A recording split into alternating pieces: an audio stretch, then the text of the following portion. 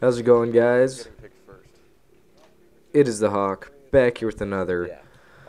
FPS paintball video. This one is of uh, me at Cameron Speedway this past weekend. Um, this was actually the day after I was at Fight for Asylum, and me and Eric uh, decided to go and play uh, a day of paintball.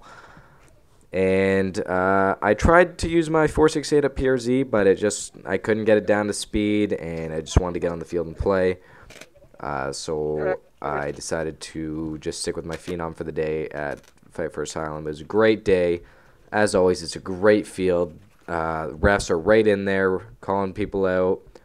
Uh, great refing, great field, great staff. I never have any complaints about this field when I go there. Don't just sit back. Um, I just wish it wasn't so far away. That's my only complaint, really, is that it's way too far away from me, and I just wish it was a bit closer.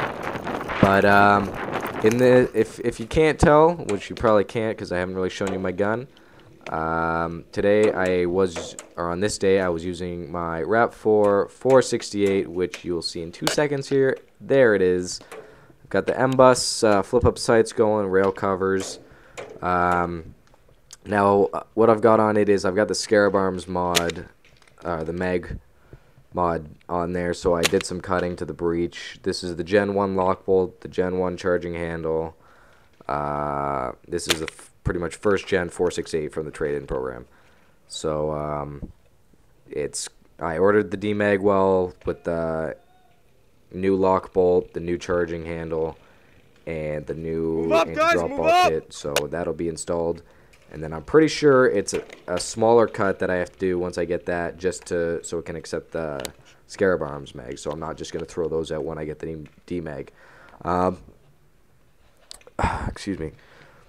Today on this day, uh, I had it about. I played about probably 15 games, and there were some hiccups. At times, it was not firing, um, meaning the mag was not pushing the ball into the breech properly. And then I had throughout the day two chops uh, and one barrel break. The chops, I have no idea exactly what happened. Um, but obviously the lock bolt's supposed to stop it from chopping, and it didn't quite do too well on that. Um, just gonna make a quick comment here. Here I'm getting shot through, and they're bouncing. I get hit in my pod pack. I look at the ref. He shakes his head no. Get hit in the pod pack again. Look at him again. He says no. So I just go back to playing. Um, but there were some issues. Now, don't take this as my review on it because keep in mind I am using a mod. I did do some cutting to use these mags, so obviously it's not going to feed perfectly. Um, when I do do my full review, I will be using the D mags and doing my thoughts on it with the D mags because that is the proper system for it. Uh, this, this gun is not supposed to accept Scarab Arms mags, and for for the mod and for it not supposed to accept them, it did fairly well. Um, sometimes I did find it wasn't feeding the last ball. Sometimes I found it wasn't shooting the last two or three. So I just dropped the mag, recharged the gun, and tried to get go at it again. Uh, toward my very last game with the 468, uh, I had a pretty serious breech uh, issue. A paintball broke right in the breech, and I don't know when it broke. When it either got pushed up into the breech or when the bolt actually fired it. But some paint got stuck in the lock bolt and kept it engaged, which caused the next bolt to break. And then I could dry fire, but only because the lock bolt was guys, stuck move engaged. up! So um, that was my major issue throughout the day. Now the good thing is, whenever I had the barrel break or the other uh, breech break, it was very easy to take off, flush it with water, or flush the bolt with water to get the paint off the bolt, and then run a uh, squeegee right down the whole uh, inside of the gun. But um, for uh, for the first time using it, did take some getting used to. Did take some uh, discipline with the 18 rounds per mags per mag, and then um,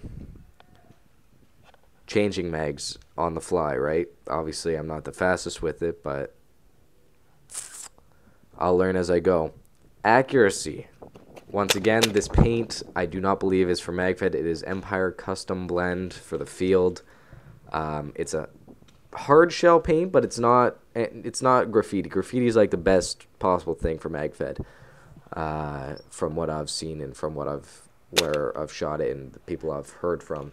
They say graffiti is like top notch for Magfed, anyways. Um, accuracy wise, pretty decent. I had it took me a while to get it down to velocity field limit, which was 250. Uh, on this day, I was actually shooting between 245 and 256. So the ref said it was fine around 254 was the last shot I took with it.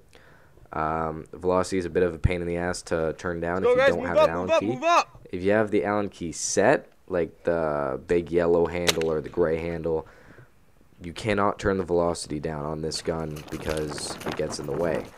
Um, you actually have to have the single Allen key by itself to turn it down or take off the stock, pull out the end cap, and turn the velocity down that way. Um, but if you have the Allen key, could be pretty simple. Uh, final thoughts. Pretty decent gun. Shoots pretty accurate. Um, air efficiency. It lasted me the whole day. I only used 500 paintballs on.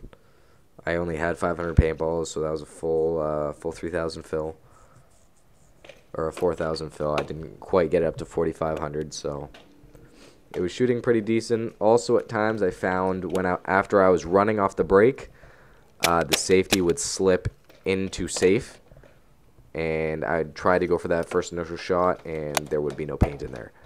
So that was kind, of, or there would I wouldn't be able to pull the trigger because the safety re-engaged, because the the safety on it is incredibly loose, and I wish it was a bit tighter, and I wish I knew how to tighten the safety down, but uh, for my first day using it, I got plenty more videos to come of me using this gun, and uh, you guys can see it in action.